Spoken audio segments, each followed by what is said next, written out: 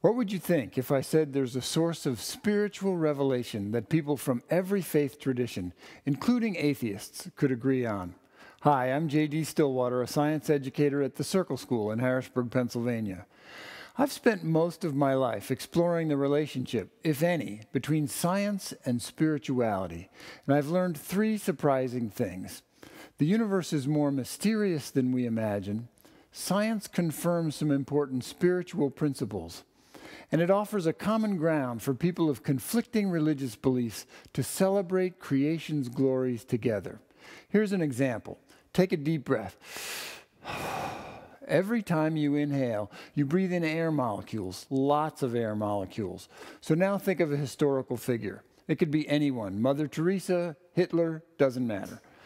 In the breath you took while you were thinking just then, you breathed in over 700 million air molecules that were also at some point inside the lungs of the person you thought of.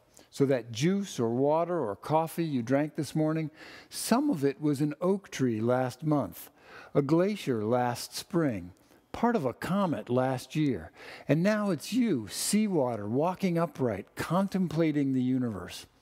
Almost all of the atoms in your body get recycled for new ones every year. Your body is like a standing wave on a river.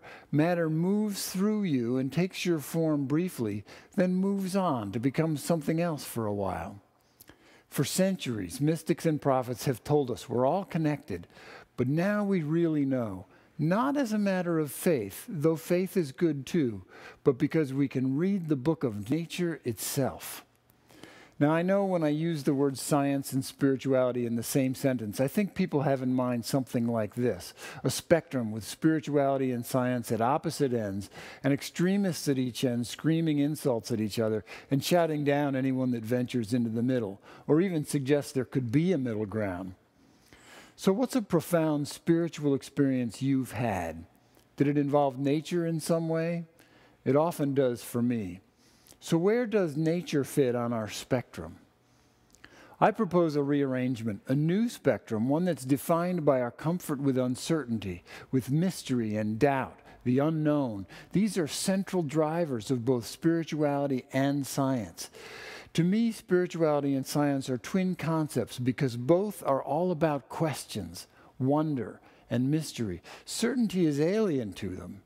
You know, the most exciting answer for a scientist or a mystic is that nobody knows.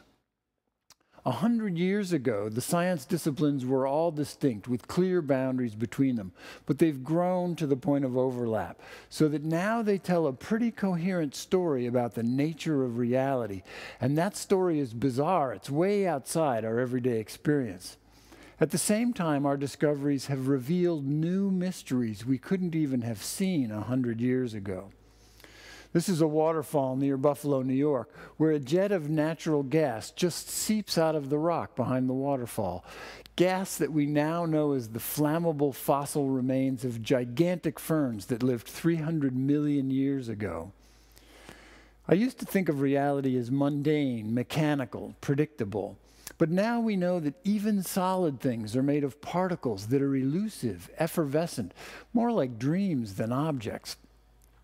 Today, scientists and science minded people are contemplating things like the curvature of space time and quantum entanglement, profound discoveries that for many scientists invoke a feeling of transcendent mysticism.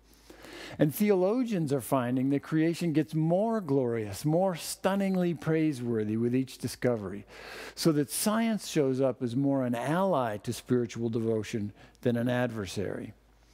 My Seven Candles work is about how science is enriching my spirituality because it's grounded in reality, not the cold, hard reality we think we live in, but the luminous, mysterious, interconnected reality described by science today. Recent discoveries urge me to embrace mystery rather than trying to erase it, and to let wide eyed, childlike wonder supplant the adolescent certainties of my dogma. The new reality being revealed by science today moves me in a way I can only describe as spiritual. And it's a communal source of inspiration. It offers itself for the enrichment of every seeker. So, no matter what your religious background is, or none, I invite you to consider science as an ally in your quest for the sacred, for the transcendent, the holy, and to embrace mystery as the heart of your spiritual seeking until the most exciting thing you can say to a child is, Nobody knows. Now, if you like what you've heard here, I'd love to have a Seven Candles conversation with you and your organization. We'll explore some scientific revelations that offer to enrich our spiritual lives, however different our faith backgrounds might be. Thank you.